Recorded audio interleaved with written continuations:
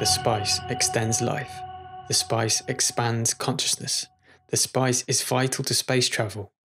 This is an extract from the 1984 science fiction film Dune, directed by David Lynch and based on a book written by Frank Herbert. Science fiction has inspired scientists, makers, and thinkers, informing technologies and ideas for the future.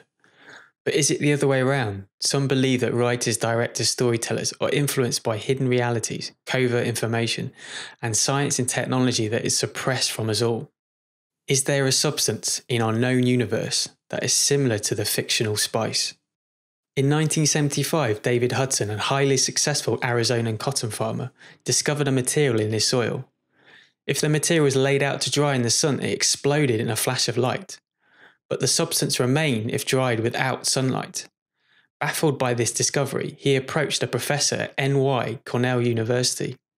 After extensive testing, he stated it carried numerous trace elements such as gold, silver, iron, and aluminium.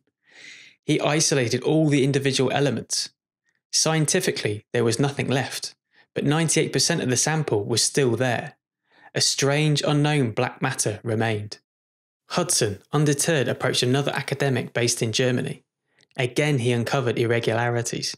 He discovered the substance contained platinum, iridium, iridium, and osmium. The material reacted very differently to heat and cold. After 70 seconds of heat treatment, the substance recorded containing precious elements.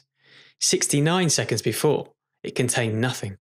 Further testing was continued at the University of Iowa Warming and cooling altered the elements such as iron. They spontaneously disappeared or morphed into other elements. Current mainstream science dictates that reactions like this aren't technically possible. Transmutation of matter, or alchemy, is widely discredited as a pseudoscience. Its popular understanding is the process of converting base metals into gold. The church in medieval times used to persecute, torture, and kill alchemists for attempting to transmute material into gold. The legends say that the mystical substance Philosopher's Stone is the key to converting base metals into gold. David Hudson continued on with testing with Hal Puthoff, a theoretical physicist. He witnessed that directed warming rays of sunlight meant the material substance lost all material form. It was no longer subject to the laws of gravity. It became one with light, transferred to another dimension, dropping out of space time. Upon cooling, the material would return back to this dimension. In March 1988, Hudson patented the white gold substance, ORMUS, which stands for Orbitally Rearranged Monatomic Elements, or ORMES. It is constituted of 12 known elements which exist both in material and immaterial energy form. Hudson claims ORMUS is found everywhere. It's in the air, the soil, plants, and even the sea. It's the very spirit of life and nature itself. 5% of our brains and nervous systems contains ORMUS. Hudson claims food harvested under modern farming methods lack this sacred element. He states that ormus, or white gold, makes us more spiritual, and even corrects imperfections in our DNA. Gold has always been true money, but is gold's true value actually medicinal and spiritual? There is evidence to support that white gold powder was known, its power harnessed in the ancient world. Hieroglyphics from ancient Egypt regularly reference a triangular motif, its translated meaning, coronal bread cakes, they were given ceremonially as offerings to pharaohs and their gods. Alternative historian Lawrence Gardner theorized that the bread was produced from a powder. Its literal translated meaning, what then is it, and is regularly found in Egyptian texts. For the Egyptians, it had a mystical, profound use. It was given to pharaohs as a rite of passage. After eating the cake, they would no longer be a man, but would be transitioned into a god. Priests would also consume the cakes, granting them telepathic powers and the ability to see into the future. Spurred on by his findings, Hudson, via donations from the public, attempted to make ormus available on the market under the guise of producing agricultural minerals. He claims the authorities inspected his plant and realised its use was more than just purely agricultural. Production was immediately shut down by the authorities, Shortly after, Hudson disappeared for many years with little or no contact. Then in 2011, he appeared at an Ormus conference, giving a two hour lecture on the science of white gold powder. During the lecture, he went on to describe how an incredibly wealthy investor offered him all the money he needed to construct a new plant, along with a proper medical team for research. Hudson claims the investor was incredibly philanthropic and wanted to discover a cure for AIDS and cancer, specifically to help poorer countries in Africa.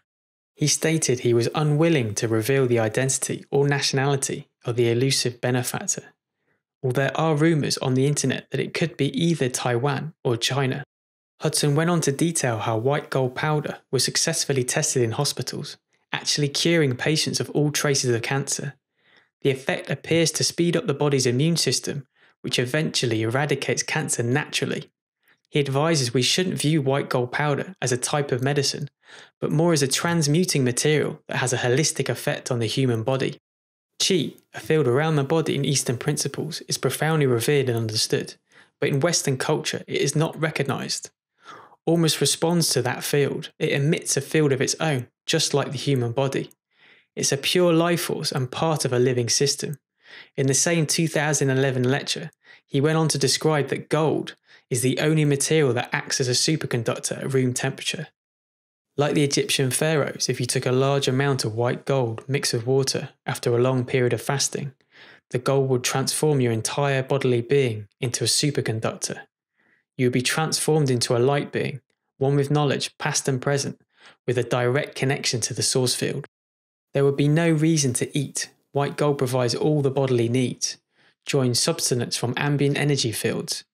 Human lifespans would stretch between 800 to 1,000 years, Hudson claims that during medical testing, large amounts of white gold has never been administered to patients. With mainstream scientific understanding, white gold in large doses would be lethal.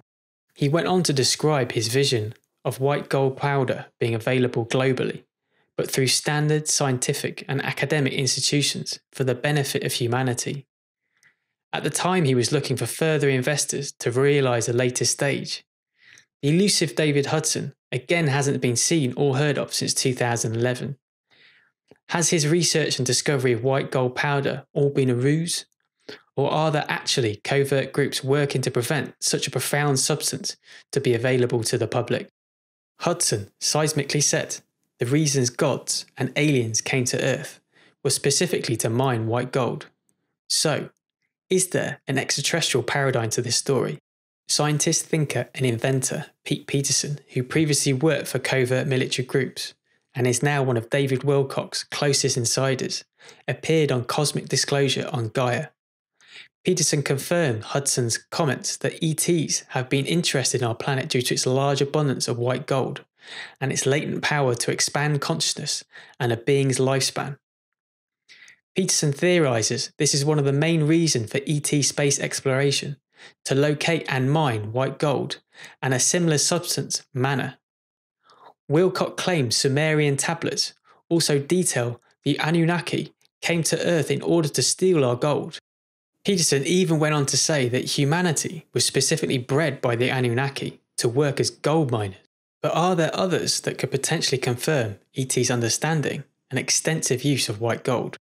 Alec Newald, a New Zealander who claims to have been abducted by extraterrestrials, February 1989, on what was supposed to be a three hour drive from Rotorua to Auckland.